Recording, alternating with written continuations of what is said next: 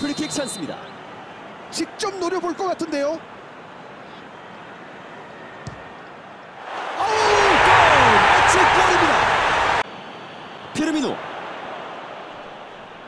스루 패스. 오 흐름 좋습니다. 자, 바람. 패스 가로챕니다. 슈팅. 에, 골! 강하게 때려놨습니다. 받을 수 있을지 찍어 차줍니다. 골 들어갔습니다. 이걸로 동점. 아 따라붙은 흐름 굉장히 좋습니다.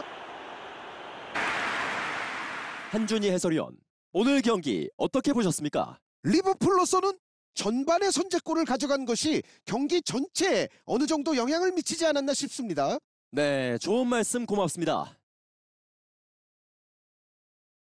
오늘 방송 중계는 이만 마치겠습니다. 지금까지 한준희 해설위원과 함께 보내드렸습니다.